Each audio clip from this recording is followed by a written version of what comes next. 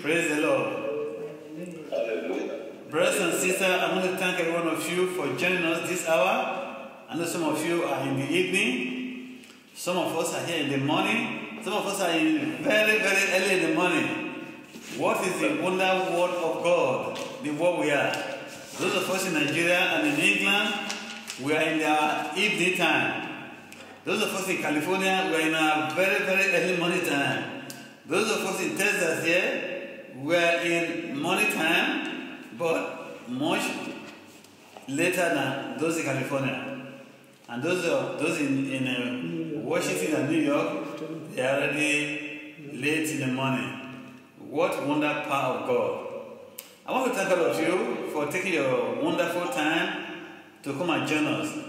It is good for brethren to be together in the hour with the Lord. Some 2,000 years ago, somebody asked me, why do you say an hour with the Lord? I said, the Bible is our standard. Some 2,000 years ago, in the Garden of Gethsemane, Jesus Christ established an hour with the Lord. He told his disciples, why don't you spend an hour with me? Just spend one hour with me. That's what he requested. He said, but the spirit is willing, but the flesh is weak. Our spirit be strong today, and may our flesh be strong also, so that we can hear the word of God. In Jesus, the bishop is with us on the line. Brother King from England is here, and Sister Uche is here, and Brother Martin, Brother Shion, Brother Brian, so many of us here. Sister Lucy, and all the rest of other people. We are so many of us here today. Sister Rose. And some of other brethren have traveled, and uh, some are in Nigeria due to one thing and the other, and some are in other places of the country. That people have engagement, they call me this one, I say, Pastor, I will not go to attend. I say, well, remember, don't let God's, don't let God's coin be lost. So, you know, God's coin, the little boy was giving money by the mother, said, son, go to Sunday school. The guy, the two quarter, the guy was so excited. He was just jumping playing, he was happy. He said, one quarter is for you, one quarter is for God. The guy was so happy. As he was playing, the quarter got fell from his hand. Went to the gutter. And they look at it, too far, I cannot make it. Said, God, that is your quarter. God, that's you all No. Your own just went to the gutter. So the guy came out from Sunday school. The mother said, How was your church? He was good. You didn't give your offering? He said, No, mom, I didn't give my offering. He said, Why not? He said, The one that God's going to fall into the gutter. The one, the one that said, it was God. He said, you told me before, the one you gave to me the first time was own. That was one that fell into the gutter. that was we do. We say, Oh, God, today's a busy day. The one, today's a busy day. Your time is not at, half time for you to today. So, your money has fallen into the gutter. Don't let God's money fall into the gutter. Don't let God's money fall into the gutter. If you fall into the gutter, it has to be your own money. May God help us in Jesus' name. Amen. As a pastor, we had to, we to tell a funny story to wake us up. Mm-hmm. People say you're always very funny. I say, I'm a pastor. I have to tell funny stories. so let us pray. Let us Elizabeth pray for us, our beautiful mama. Is Mama there? Is Elizabeth, go ahead and pray for us. Father, in the name of Jesus, we honor your holy name for another day, a brand new day, a day untouched by human hands. A day, O God, of miracle.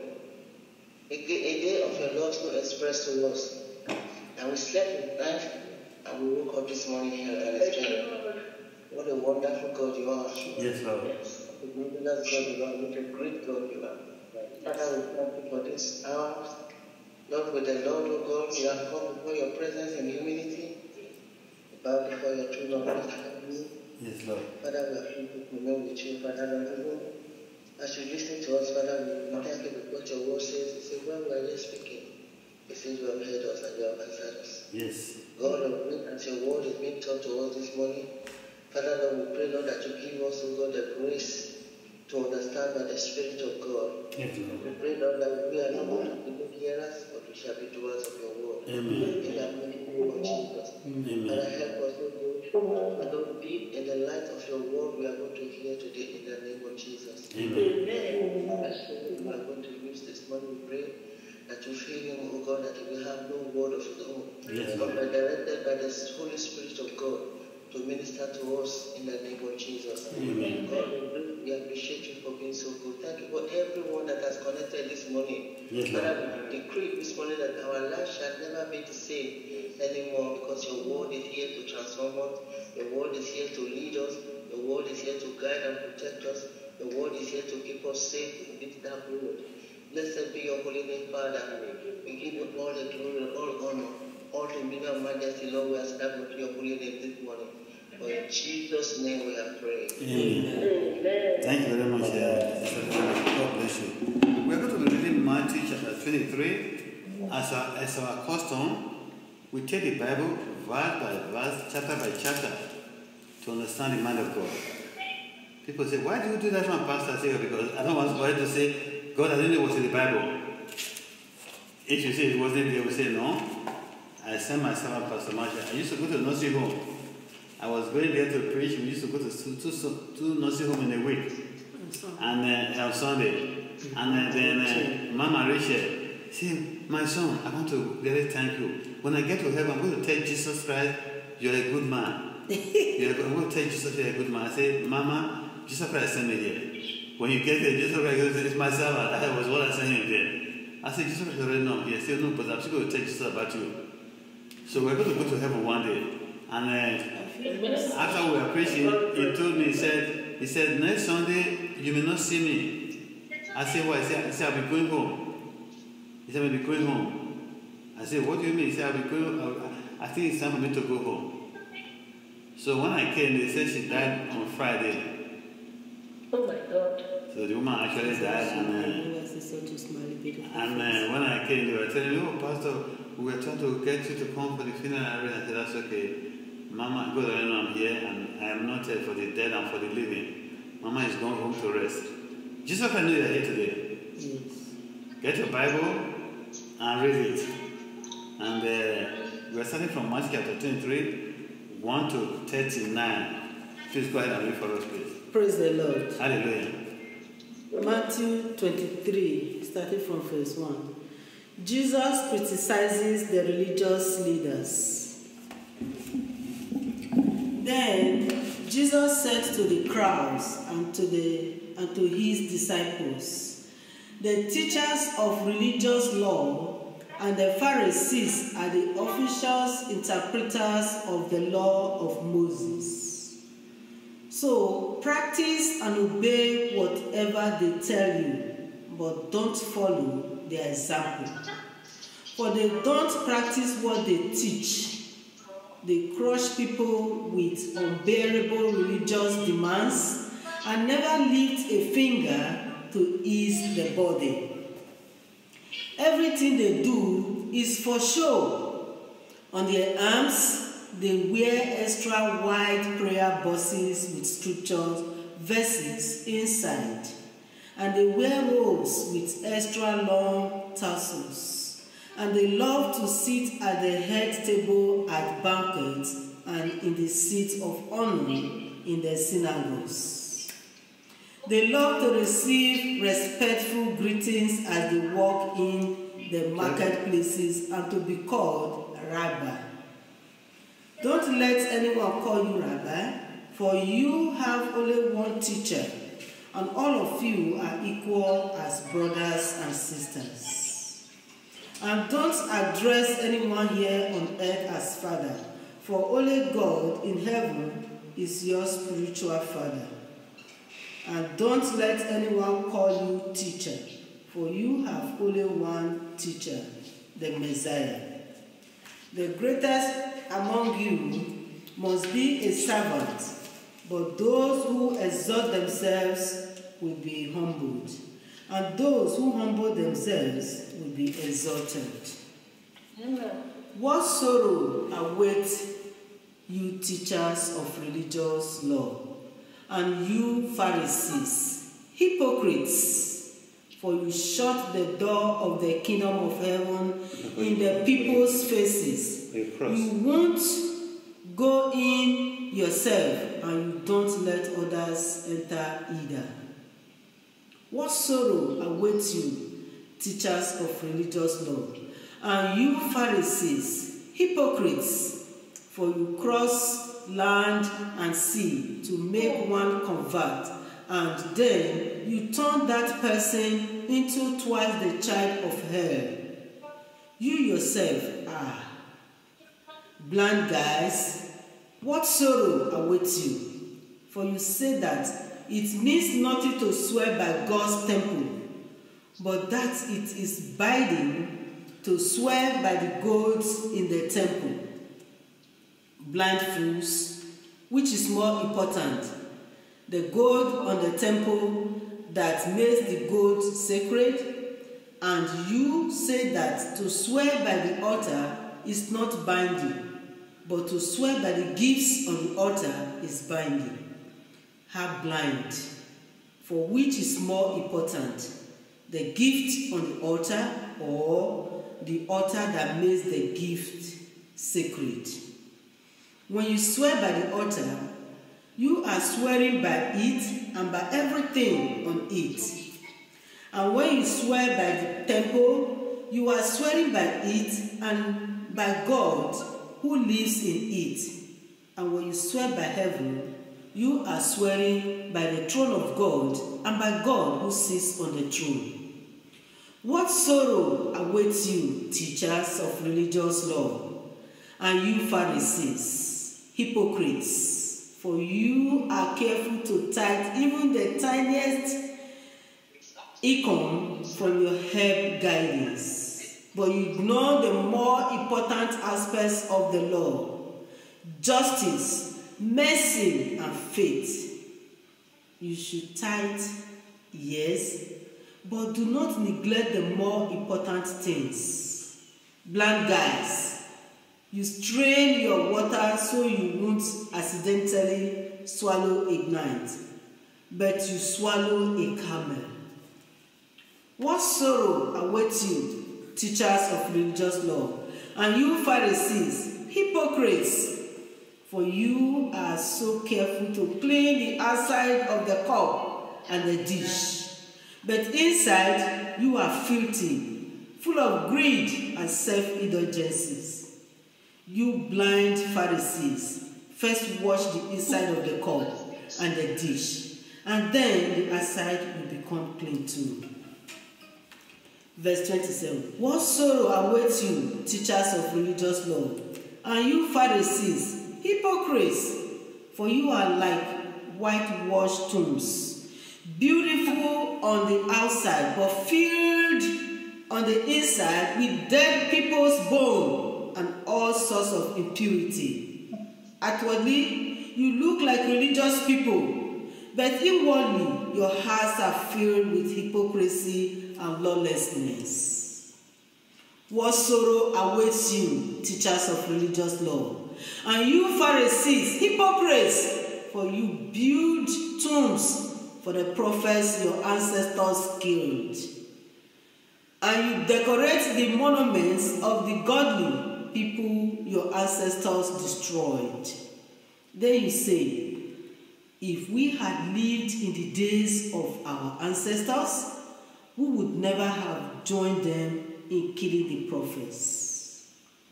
But in saying that, you testify against yourselves that you are indeed the descendants of those who murdered the prophets.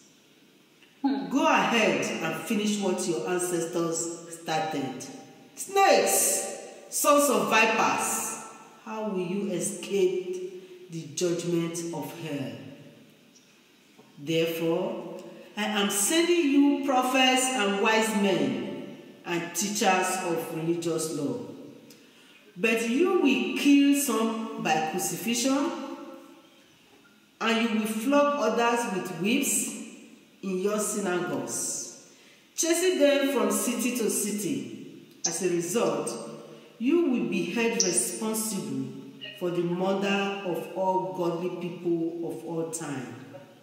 From the murder of righteous Abel to the murder of Zechariah, son of Berechiah, whom you killed in the temple between the sanctuary and the altar. Hmm. I tell you the truth, this judgment will fall on this very generation. Oh. Verse 37. Jesus grieves over Jerusalem. O Jerusalem, Jerusalem, the city that kills the prophets and stones God's messengers. How often I have wanted to gather your children together as a hen protects her chicks beneath her wings. But you wouldn't let me. And now look, your house is abandoned and, and desolate. For I tell you this, you will never see me again until you say, my God. Blessings on the one who comes in the name of the Lord. The word of the Lord. Thank be to God. Thanks be to God. Brothers and sisters, it took me a long time to finish writing this week write up. I was up until about 1.30 to 2 o'clock this morning because sometimes this writing can be very challenging and it can be very difficult also to, to actually, the more I read this passage, I read it more, I say, wow, my God, Jesus, if Jesus was here today, he would probably condemn all of us. Because uh, we love religion. We want to show one church, one leg in church, one leg outside. We behave like Christians on Sunday. We want to show people we're religious. But truly, when we go to work on Monday, we are not different from people who don't go to church. Some people laugh with you in the church with one of their mouth, but when they see you outside, they don't know you. And they're very religious. They want to tell you about religion in everything. They talk about it in their politics, in their everyday life. But the true fact is, they are far away from God. Because they have no love, they have no respect for foreigners. They look at foreigners like animals.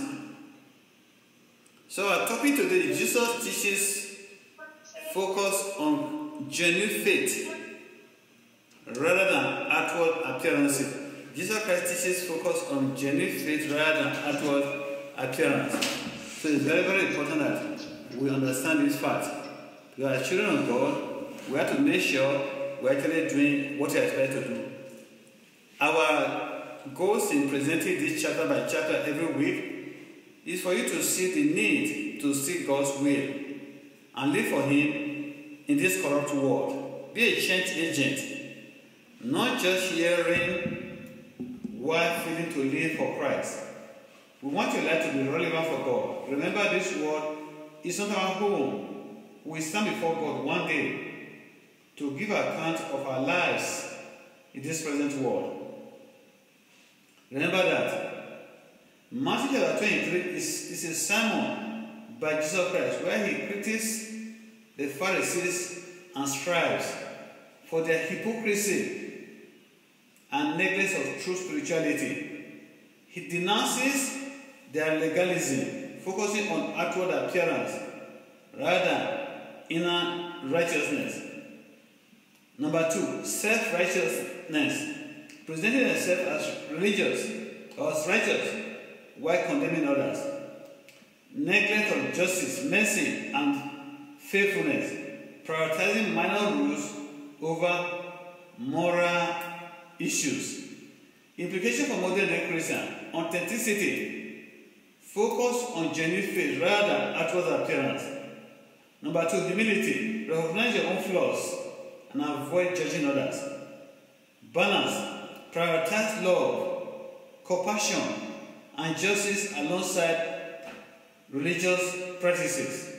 Four, spiritual substance over form. Emphasize inner transformation over mere ritual. I repeat that. Spiritual substance over form. Emphasize inner transformation over mere rituals. Compassion over condemnation. Show kindness and understanding towards others rather than condemnation. Number six, true leadership. Lead with humility and servanthood rather than seeking power or recognition. Jesus' message remains relevant today, urging Christians to examine their hearts, motives, and action, and to strive for a genuine, loving, and just relationship with God and others. Furthermore, here is a breakdown of Matthew chapter 23, verse by verse, notification for modern day Christian. Verses 1 to 4. Jesus warned against following the Pharisees' example as they preach, but don't practice what they preach. They burden others with rules which they themselves do not follow or observe. Implication for modern day Christian be careful who you follow and learn from. Ensure your leaders practice what they preach. Verses 5 to 7. The Pharisees do good deeds for sure, seeking human praise. They want to appear righteous and important. Implication for modern day Christian. Motives matter. Do good deeds for God's glory, not human recognition. Verses 8 to 12. Jesus teaches that true greatness comes from humility and servanthood, not title or positions. Implication for modern day Christian. Embrace humility and serve others. Leadership should be about empowering, not elevating oneself. Verses 3 to verses 13 to 15. Jesus condemned the Pharisees for shutting the door to heaven, preventing people from entering the kingdom. Think about what's going on today in this country, in America, or the country wherever you are. Implication for modern day Christians be careful not to create barriers to faith. Show the gospel, share the gospel, and welcome others to God's kingdom. Verses 16 to 22. The Pharisees prioritize minor rules over major moral issues like justice, mercy, and faithfulness. Implication for modern day Christian focus on weightier matter of God's law, love, compassion, and justice. Verses 23 to 24. Jesus criticized the Pharisees for straining at a gnat but swallowing the camel, prioritizing minor rules over major moral issues. You know, when I read that place, I was actually laughing. I said, Jesus used very funny example. You know, those little, you guys not understand it in the Western world. You know, when we are very, when we very young, we have a, a container where we put water. And those water will have little tiny worm. And in order to swallow those worm, we, we try to strain the water so that we drink only the water and throw away the little ant. Well, not really one, they, they were little ant. We throw them away. But Jesus Christ said strain the cup not to drink those little ants, but they, they swallow camel. I said, my God.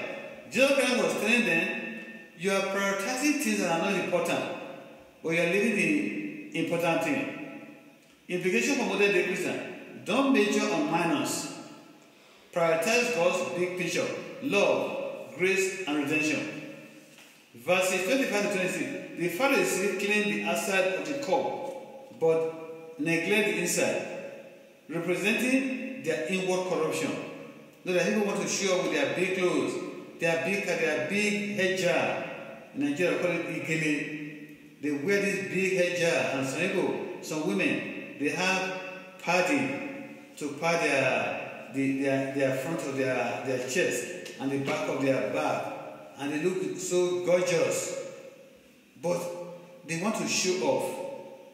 But when you look at these people, they are so evil.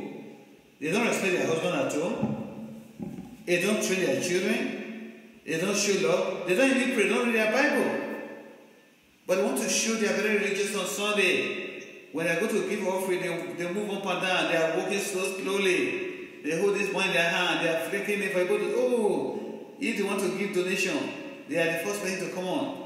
And they want to give testimony. They actually want people to see their body. They are not there to actually worship God. That's what Christ was condemning here. Say the inward corruption. Implication for modern day Christian, clean your heart and motive, not just your outward appearance. Verses 20 to 28. The Pharisees appear righteous outwardly, but are full of hypocrisy and lawlessness within. Implication for modern day Christian, authenticity matters. Ensure your inner life align with your outward action. You know, aut- authenticity and integrity is doing the right thing when nobody is, when nobody is watching you. Are you the person that like to steal? Are you the person that like to cheat? Are you the person that just like to show off? You have one leg in the church, in the church, oh, everybody says, oh, you're a good brother and sister. But when you're also in the world, you go to this club, you are the one that everybody recognize. You are in both sides. You are not a Christian, you are not a believer. You fit in wherever you go to. That's what Christ is saying here. He says, examine your life. Implication for modern day Christian. Jesus, verses 20, 29 to 32. Jesus condemned the Pharisees for honoring prophets, No, no, destroy. for honoring prophets too, but rejecting their message. Jesus Christ condemned the Pharisees, verses 29 to 32. Jesus condemned the Pharisees for honoring prophet tombs, but rejecting their message. Implication of modern day Christian. Honor God's messenger and their messages. Don't just play lip service to faith. You know, lip service is, oh, I'm a Christian. I don't want to get in, I don't want to involve in God's business by investing my time, investing my money, investing my talent. I just go to church on Sunday, I just show up with my big car, my big clothes. I dress my children very well. My husband and wife will show nice we put on nice picture. We are, we are laughing, we are, we are smiling. We want people to see that we are successful. But truly, we don't know God. Our heart is far away from God. That's what Christ was saying here. You know, men and women are suffering for God today all over the whole world. What are we doing to lift their burden, to share their burden with them? To say, God, I know these men and women are women and men of God.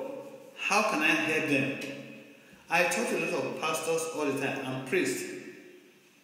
My wife is from Catholic background, and when we want to get married, the, the priest was telling us, say, usually we don't allow Catholic, no, Catholic to marry a non-Catholic.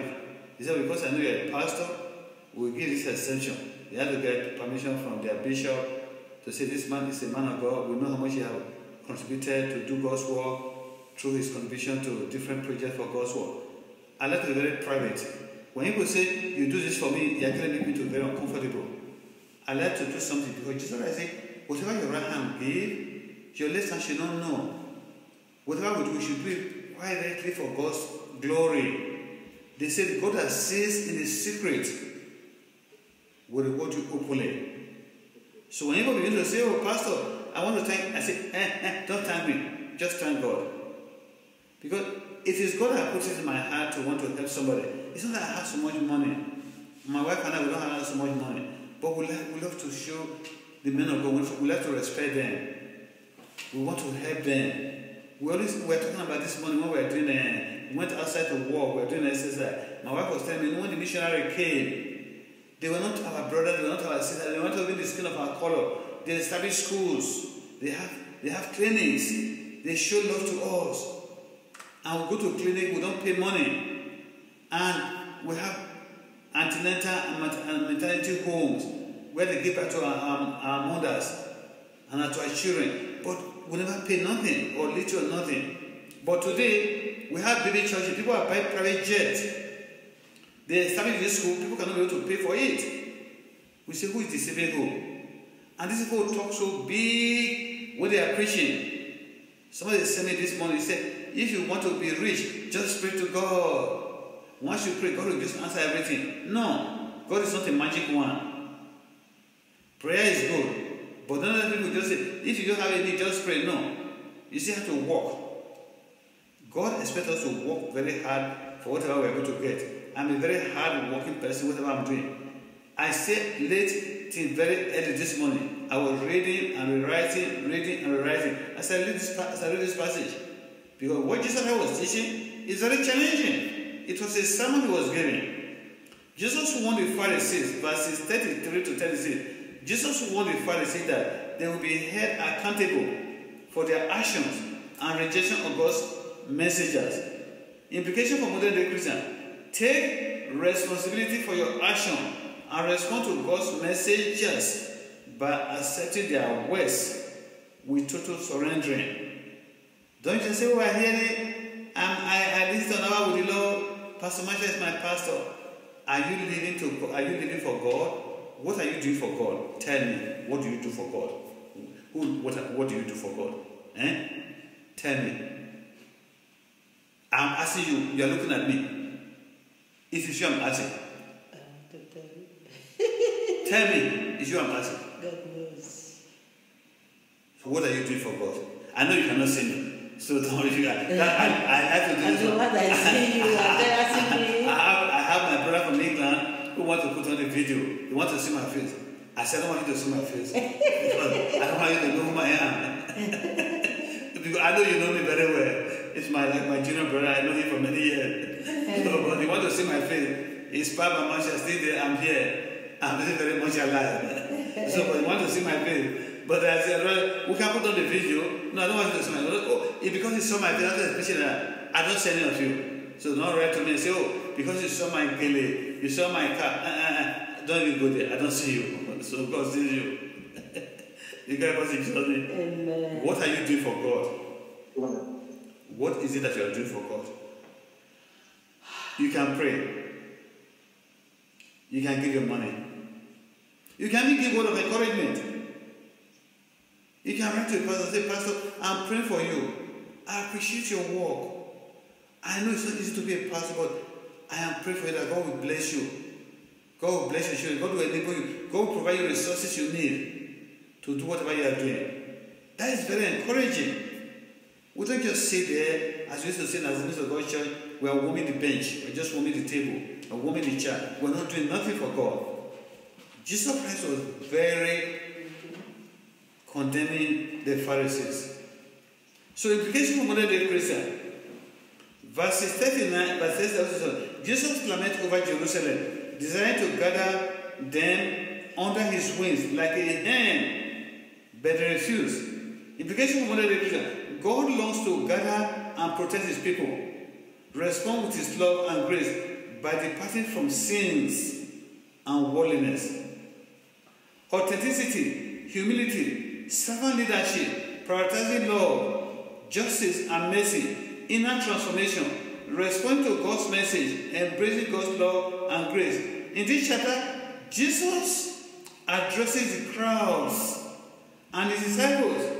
I was talking to two people, two sets of people here, the crowd and his disciples, delivering a scathing rebuke of the scribes and Pharisees. He highlighted hypocrisy, pride, and superficial religiosity of these religious leaders.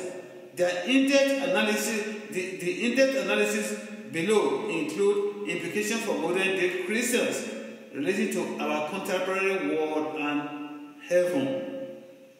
Matthew chapter 23, 1 to 4 analysis. Jesus acknowledged the authority of the scribes and Pharisees as the interpreter of the law, sit in Moses' seat, but he criticized their hypocrisy. They body orders with strict rules, but don't follow them themselves. They like to set a big rule for you, but they can only turn their finger to carry the same body. Implication for modern day Christian authenticity leadership. Leaders should practice what they preach. Modern day Christians should be wary of hypocrisy and ensure their action align with their teachings. Including yourself, we are all pastors, we are all teachers, we are all workers of the gospel. Does your life align with God's word? When you go to your party, if you go to a party, I'm not a party person, if you go, do people say, whenever this man comes, always talking about God, always saying, let us pray. Of course, they will not like you to do that one.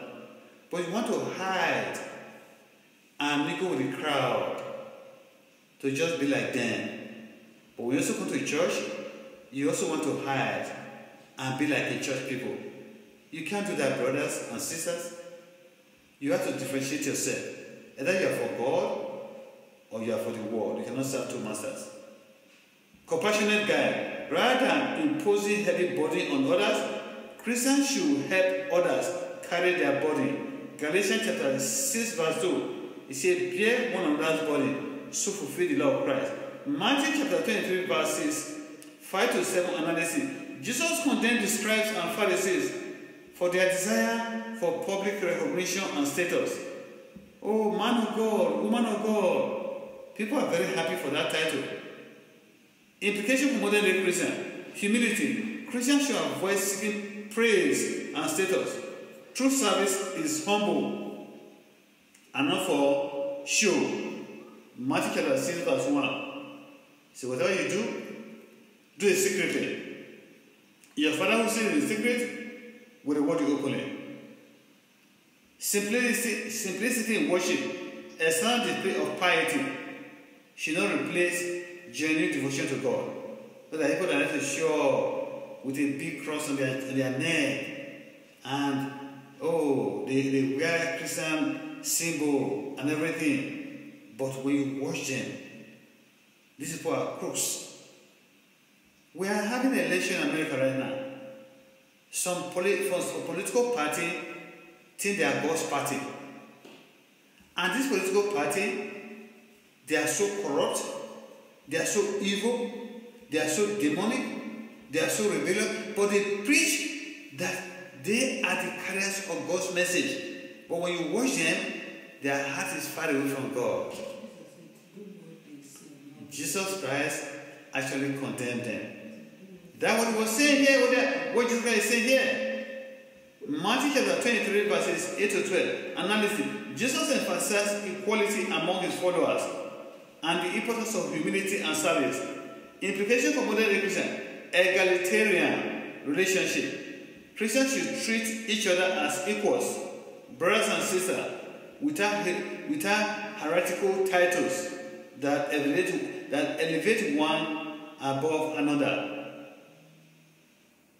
Servant leadership. True greatness in the kingdom of heaven is measured by service to others.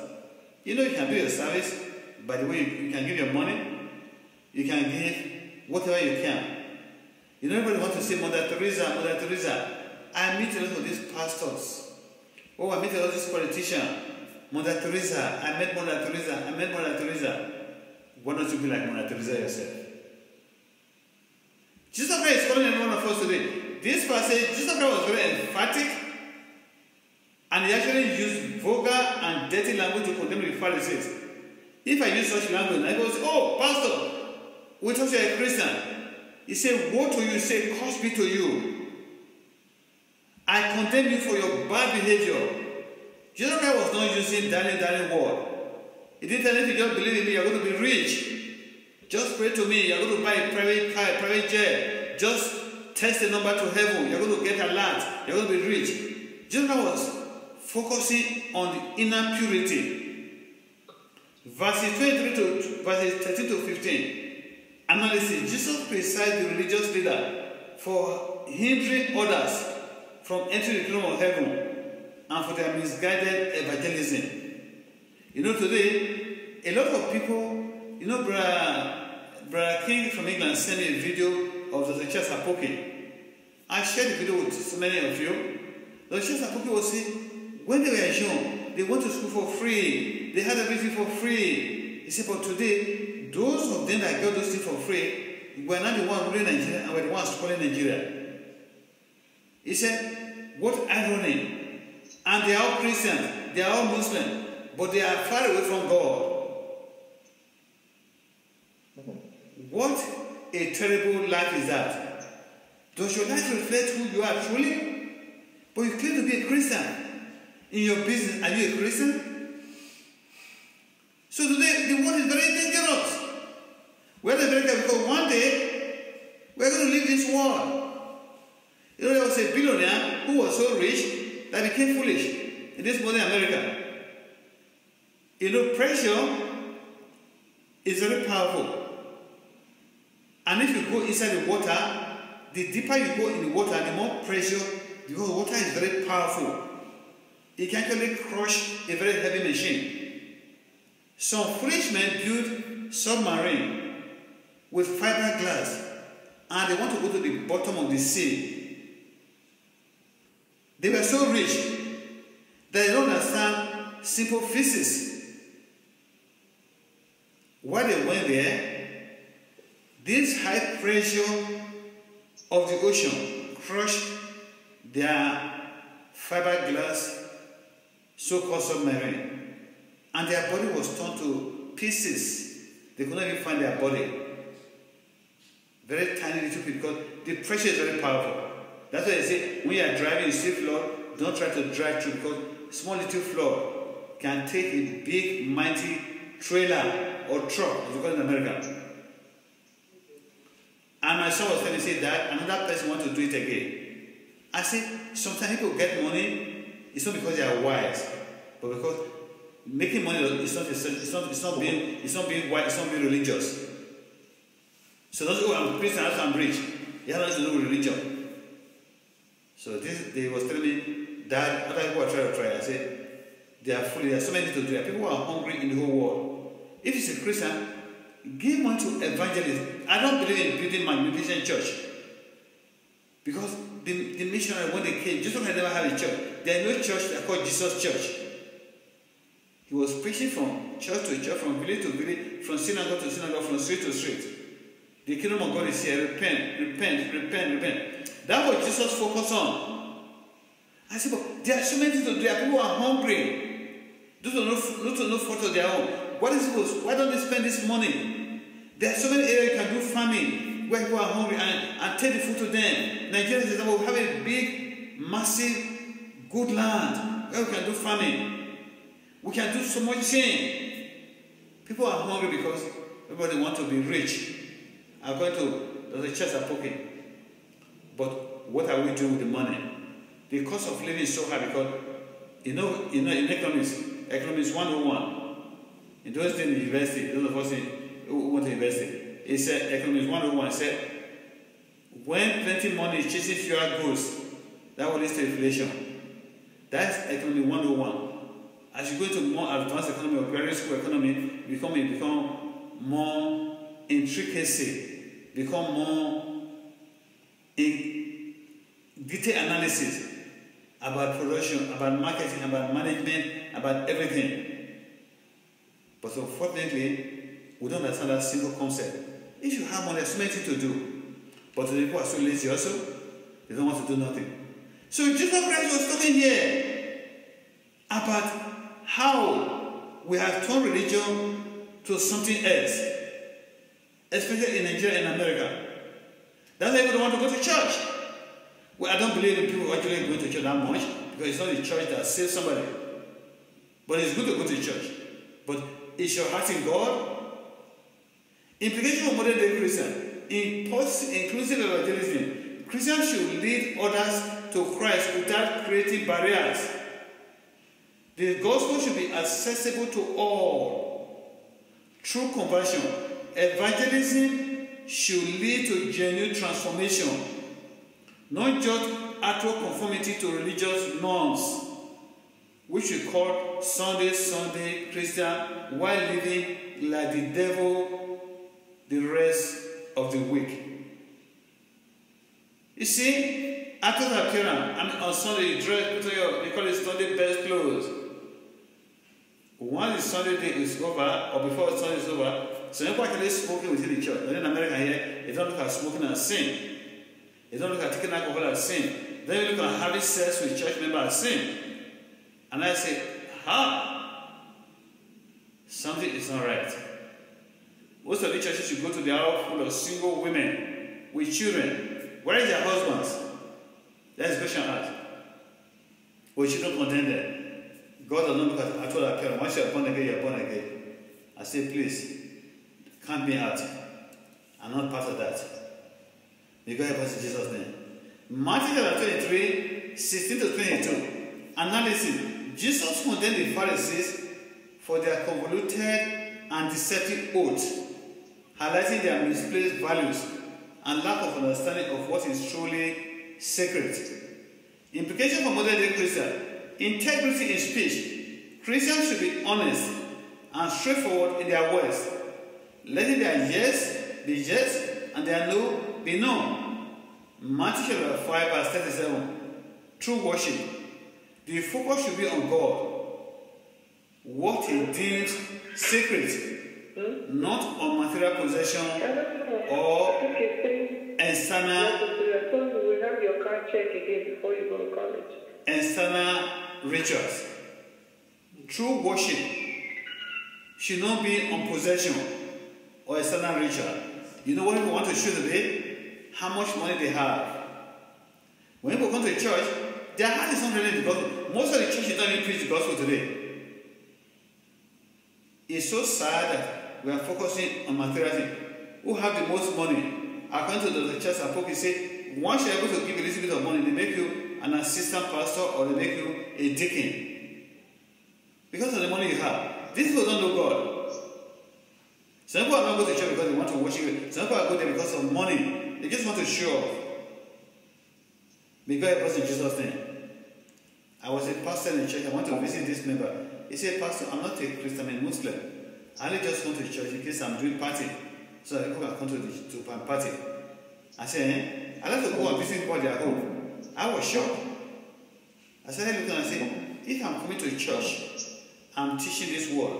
I'm, I'm pouring my heart to teach the word of God. This person is not, it's not even to what I'm saying. He said, I'm not a Christian, Pastor, I'm a Muslim. He is not telling me in my back, he's telling me face to face. He's respecting me a lot. He's very kind. Pastor, when you see me, Pastor, if I see him in the store right now, he want, he want to buy something, Pastor, don't worry, I'll pay for you. Those are works. It's not going to save you. It will not take you to heaven. Have you accepted Jesus as your Lord and Savior? Have you turned to Christ 100%? You cannot put one leg in the church, one leg outside the church. It's not going to work. This world is not our home.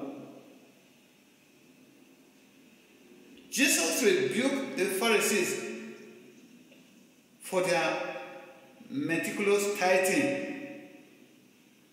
Why? Verses 23 to 24. Why neglecting the weightier matter of the law, such as justice, mercy, and faithfulness? How do you treat poor people in your life? That's how to know if you are truly a Christian. Oh, I'm very rich. Maybe these poor people are working for you. You are so harsh because you think you are the boss. You are so demanding. You are so demeaning them. You are so you are so disrespectful to them. You know, I look at people when they think they have a spiritual position, they think they are gods. But not to me, oh, because I never tolerate nonsense. Wherever I walk, not me. Oh, I'm a firebrand person. You say one word I don't like, I fire back to you. I say, oh, don't even let me go there. Like Jesus Christ, like Elijah. If I don't qualify, I will not have this job. I am qualified, whether private or anywhere. So for that reason, don't mess with me. As a child of God, are you messing with another person because you think you have power over them? Remember, you have master over you. This world does not belong to you. One day,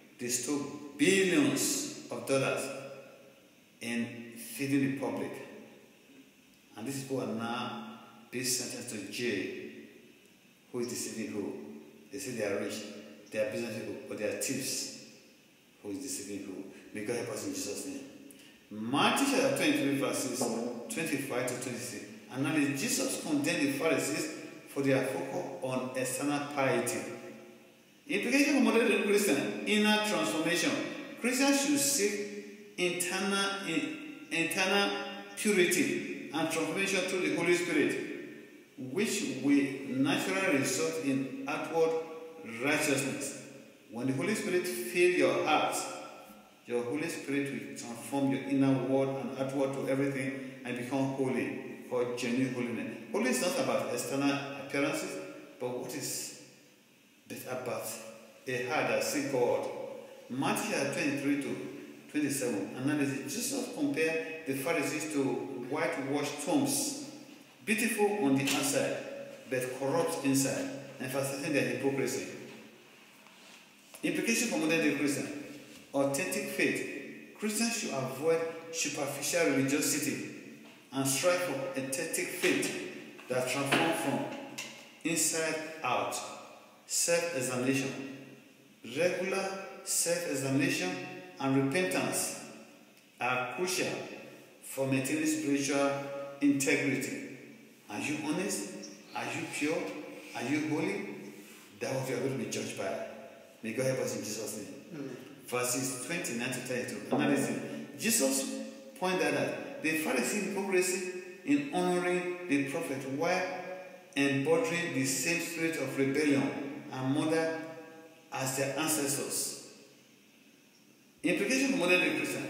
Consistency in faith. Christians should honor past saints by living faithfully, not just by venerating their memory. You know, we like to praise Mother Teresa, Prophet Susu person, Archbishop eh, Idahosa, Susu person. Are we living like them?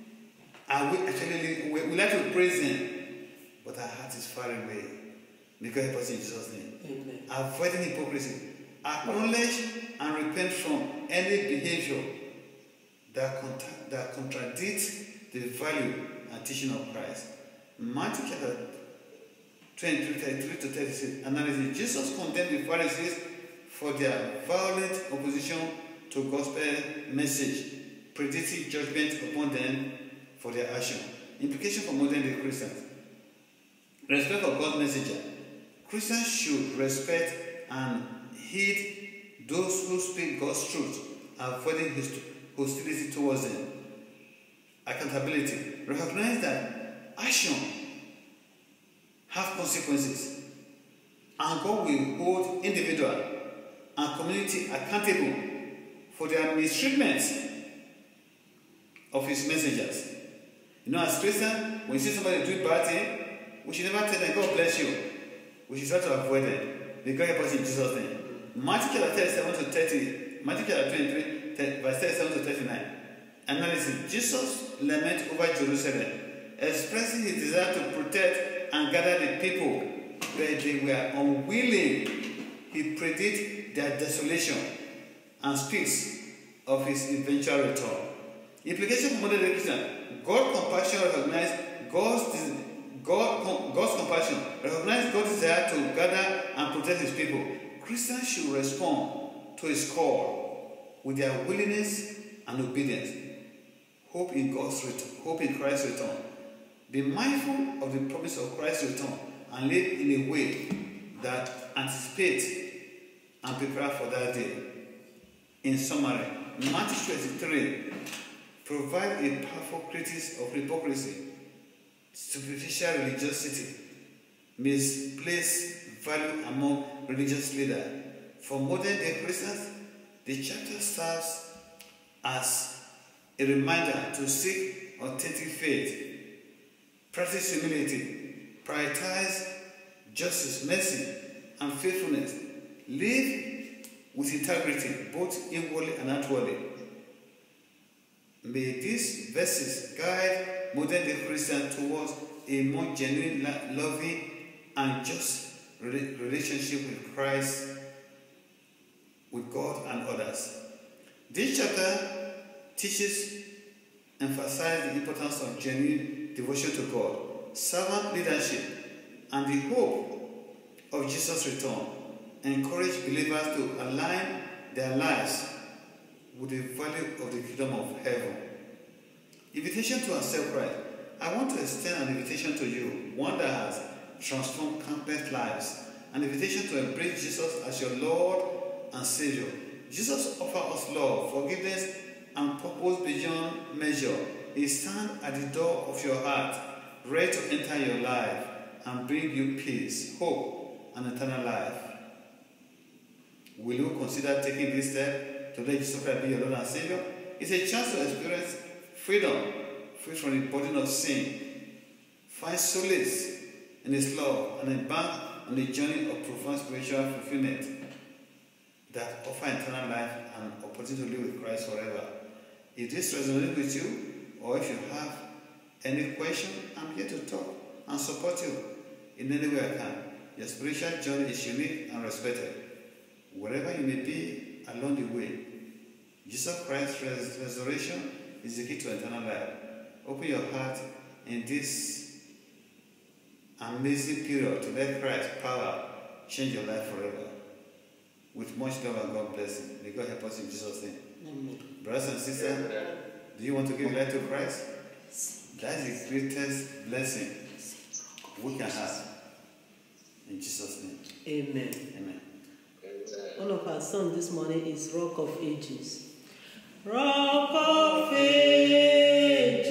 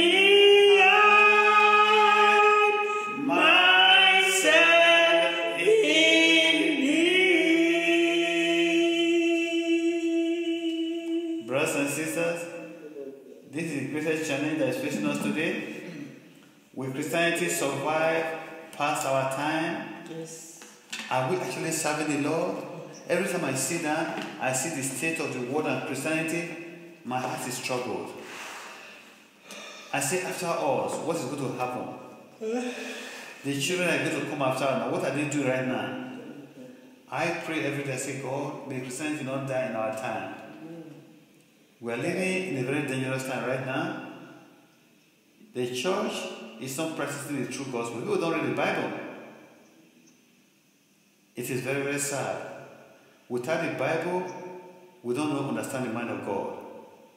That's why we decided to be doing an hour with the Lord, verse by verse, line by line, chapter by chapter to understand the mind of God. The question I want to ask all of us have you given your life to Christ? Are you actually living for God? Does your life reflect what you profess? It's very easy to say I'm a Christian. Some people will boldly tell you, I'm not a Christian. I only just go to church. Going to church does not make you a Christian. It's your daily living that make you a Christian. Jesus said, Take your cross and follow me. Are you taking Jesus Christ's cross? If you are not carrying the cross, are you, are you, are you encouraging others that carry the cross? Are you giving them the, the courage to carry the cross?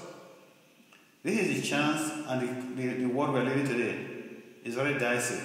I ask God to help us so that we'll not be found wanting. To be very sad on that day, God will say, Depart from me, you workers of iniquity. I don't know you. You say, What? Jesus, you don't know me. I'm the, I'm the one that was in hour with the Lord.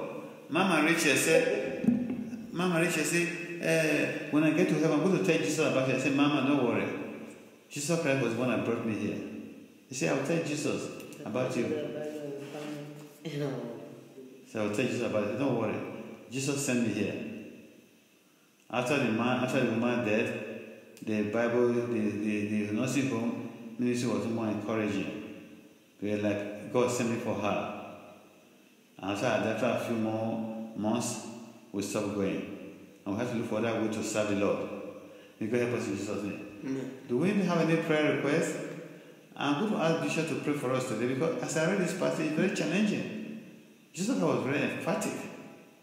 He was using very word that we consider to be very violent.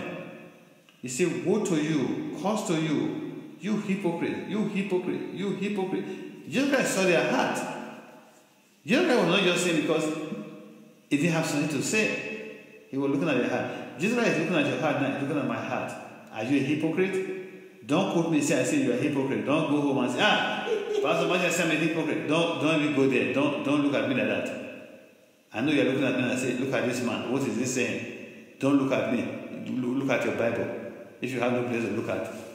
So we cry Jesus'. Uh, my prayer request for today is that God will give for every one of us the grace to actually be faithful and be what He wants us to be in Him. Amen. Because hypocrisy is a very serious thing. Because that is the biggest way to be an obstacle in evangelism. Because our life, I remember when I was young, my, my chaplain in my university, Father Chekube, used to tell us that. He said, Listen, you are in the campus. Your life is the biggest Bible that the world can preach.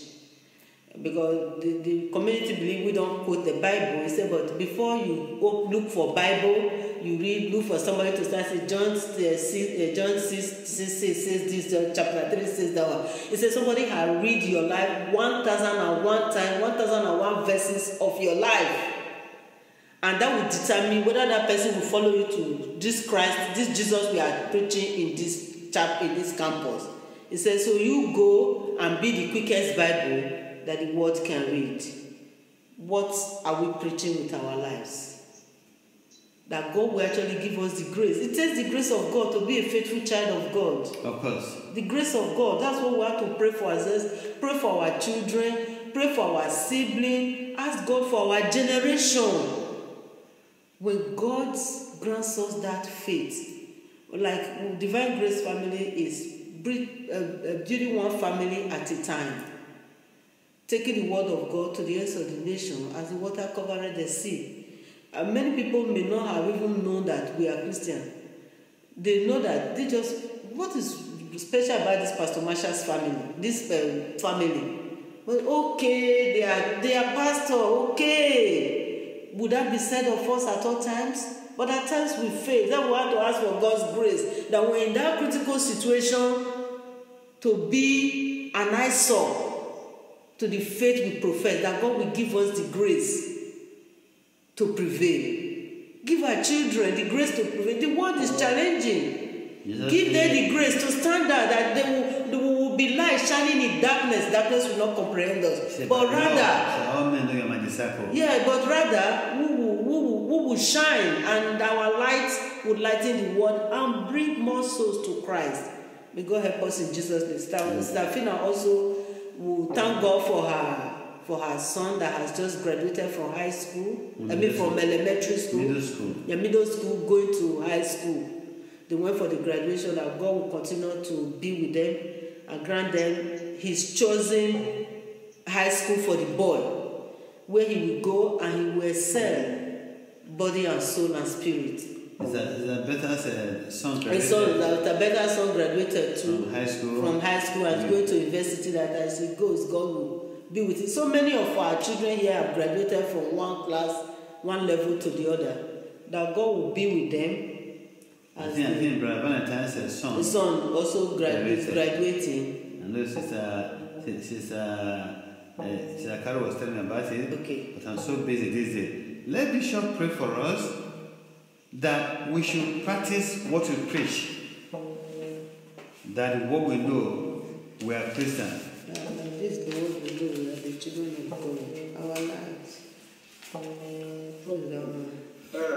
The first one to sing a song before pray.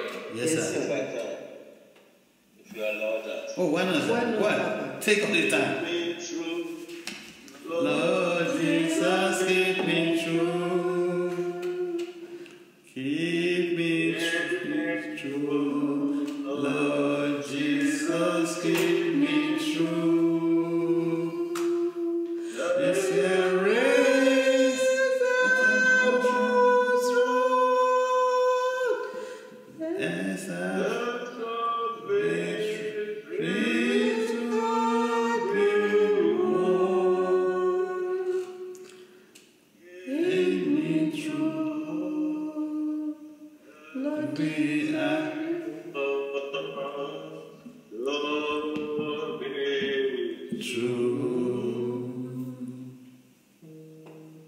Father, in the name of Jesus, amen thank you for the grace and the privilege of hearing your word this morning. Yes, Lord. Your word has been spoken, and we ask for grace to live for you. Yes, we ask for grace to do that which you have commanded. yes Lord We ask for grace to do your will at all times. yes We ask for grace to live for you.